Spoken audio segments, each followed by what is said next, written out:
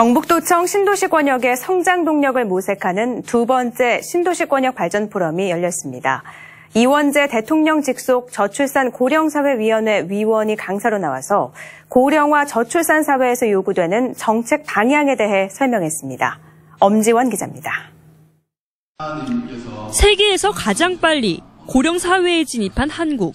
그 중에서도 경북은 최정점에 놓여 있습니다.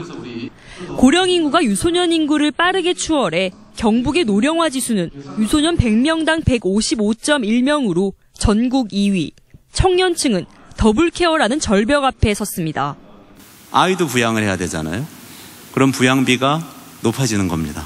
double care, 노인도 care해야 되고 유소년도 care해야 되는 두 양쪽으로 care해야 되는 문제가 생기는 거죠. 지금 청년들이 그래서 오도 가도 못하는 겁니다. 때문에 이를 짊어질 청년층을 위한 전 생애적 삶의 질 향상에 정책 방향이 맞춰져야 한다고 강조합니다.